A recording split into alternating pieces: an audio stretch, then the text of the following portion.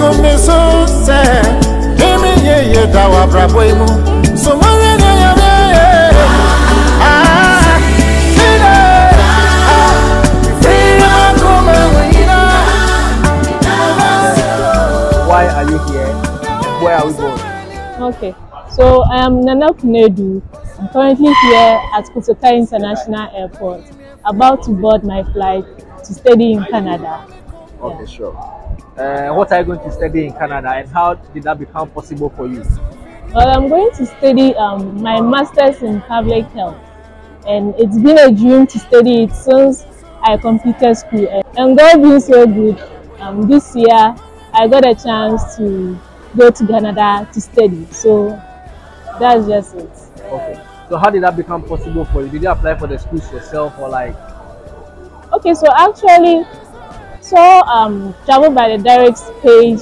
think back when I was in school, I think I was like 300 or 400. It was his very first post on Instagram. So I was like, oh, okay, a new travel and tour page. Let me just follow it, and then when I'm ready, I'll just contact him.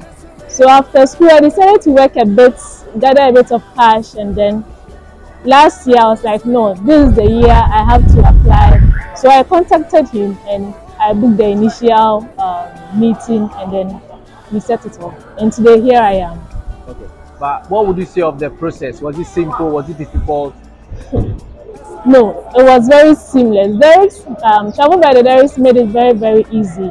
He there was constant communication. Um, he will give you updates, feedback. Let's say you've gotten to this stage, he'll be like, "Oh, okay, you've gotten here, so prepare for the next stage."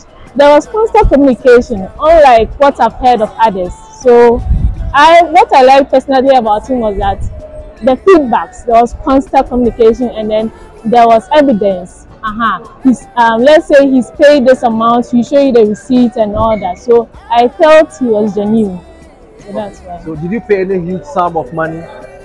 not at all Okay. So to those who are watching you uh, on Travels by the Derricks page right now, what do you have to tell them?